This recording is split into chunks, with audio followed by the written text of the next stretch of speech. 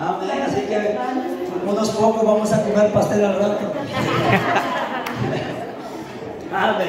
Levántese y le bendigo en el nombre de Jesús. La bendición pastoral. Les dejo dos, les dejo dos tareas. Escuche la predicación que les envié y el audio que le voy a enviar. El audio es corto, pero escuche lo que es un hombre convertido pero que estuvo dañado y lastimado dentro de la iglesia por mucho tiempo. Jehová te bendiga y te guarde.